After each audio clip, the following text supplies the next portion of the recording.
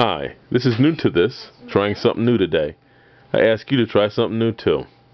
Today we're going to delete a YouTube channel. So first you go to YouTube, then you click over to the right on a tab, go to YouTube settings, then click into your advanced, scroll down, hit delete channel.